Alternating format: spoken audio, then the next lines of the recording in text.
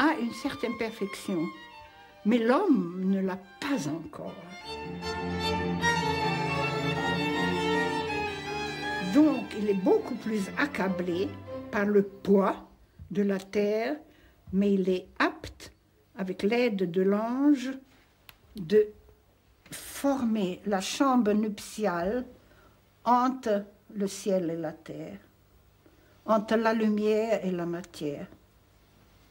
Ça, c'est une vie passionnante. Il n'est plus une pauvre petite créature qui, rampe dans la boue. C'est un être divin avec une destination divine. Digne, aussi digne que l'ange. Ces deux parties. Est-ce que, est que la main droite vaut plus que la main gauche? Non. Mais il faut faire ça. Et le cercle de la vie est uni. Là, on vit la vie entière. Il n'y a plus de coupure. La lumière et la matière se joignent.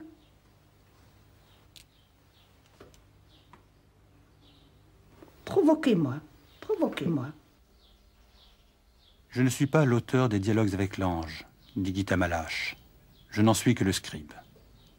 En fait, les dialogues avec l'ange sont la retranscription fidèle, quasiment mot à mot, d'une expérience vécue en Hongrie, dans les environs de Budapest, durant la Seconde Guerre mondiale. Là, quatre amis, Gita Malache, Anna et son mari Joseph et Lily, en 1943 et 1944, dans l'angoisse et les privations, ont reçu chaque semaine les enseignements de leurs voix intérieures qu'elles notaient à mesure dans des cahiers d'écoliers. De ces quatre amis, seul Guy Tamalache a survécu. Les trois autres sont morts en déportation. Plus de 30 ans après, en 1976, Guy Tamalache publiait ses dialogues avec l'ange, qui furent traduits à travers le monde en plus de 12 langues. En avril 1992, nous sommes allés rencontrer Gita Malache, dans le petit village où elle s'était retirée, sur les coteaux qui dominent la rive droite du Rhône, en dessous de Vienne, au milieu des vignes qui y croissent, sous le soleil, dans le vent.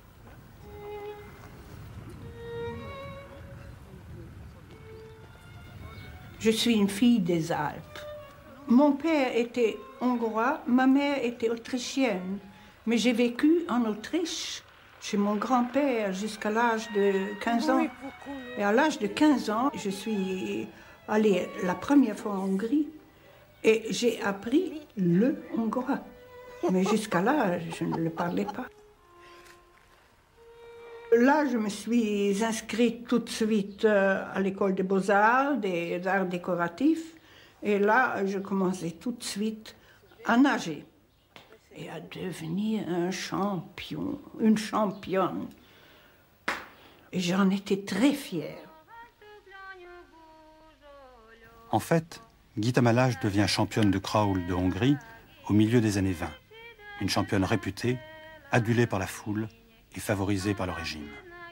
Elle mène pourtant de front des études de décoratrice qui lui permettront d'exercer plus tard un métier qu'elle n'abandonne jamais plus.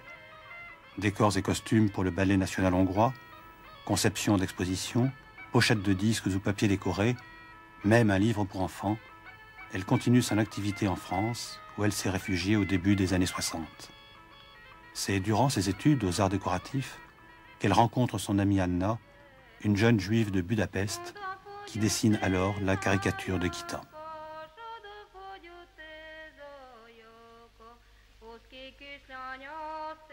C'était déjà l'antisémitisme. Hannah était ma collègue qui était assise près de moi, la table près de moi, et nous étions liés d'une sincère amitié. Et lorsque nous avons fini nos études, les Juifs ont été éliminés déjà de, toute euh, commande d'État. Donc c'est moi qui encaissais les commandes de tas comme championne, comme fille d'un officier. J'avais tous les atouts et nous avons très bien gagné notre vie. Vous avez donc connu votre amie Anna, euh, votre amie juive. Euh, vous avez connu en même temps d'autres personnes et on peut dire qu'un petit groupe s'est formé en quelque sorte entre vous. Oui, c'était après les études que Hannah est allée à Munich pour continuer euh, ses études de graphisme. Moi, je suis allée à Vienne. Et quand je suis revenue en Autriche, et quand je suis revenue, il y a euh, un an, un an après, euh, elle était déjà mariée avec Joseph, qui était designer. Donc, il nous a complété formidablement dans notre métier de décoratrice.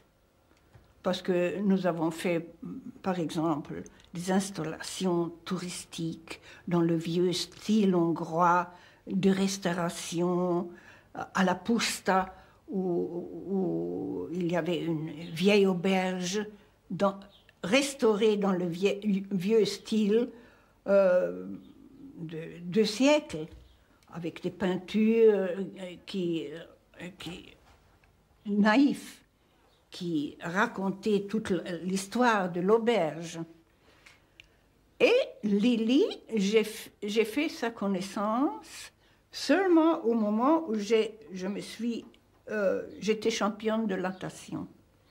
Parce qu'on m'a parlé d'elle, de ses cours, et elle m'intéressait tout de suite. Je suis allée la voir, qu'est-ce qu'elle fait, relaxation, etc. Et nous nous sommes liés d'amitié immédiatement. Ensuite, alors arrive la, Seconde Guerre mondiale. Oui. Là, les choses, quand même, ont, commencé à changer. Ah oui, oui, oui, oui, oui, On savait, chaque gosse à Budapest savait que tout est mensonge. Chaque gosse qui savait lire, il lisait déjà justement l'envers de ce qui est écrit.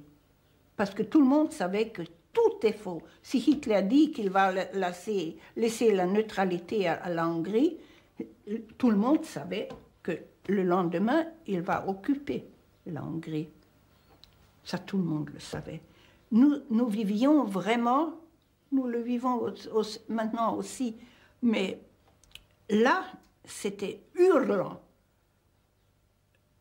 le mensonge. Parce que on ne parlait pas déjà, il y avait les camps de concentration, il y avait les, chambres à gaz, il y avait tout ça, mais on le couvrait gentiment.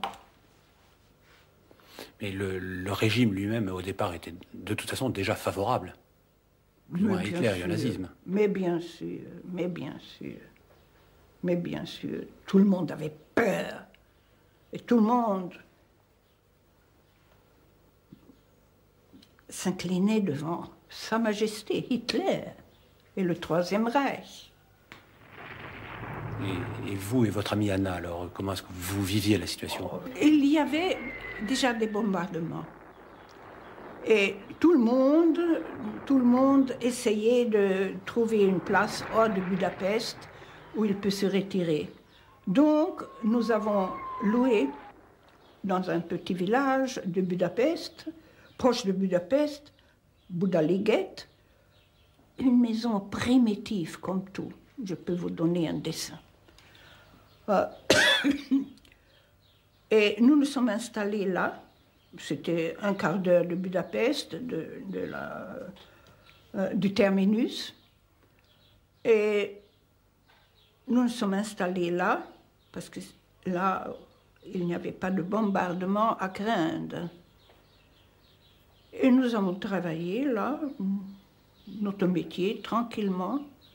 Mais là, déjà, nos questions chaque soir devenaient de plus en plus euh, pressées.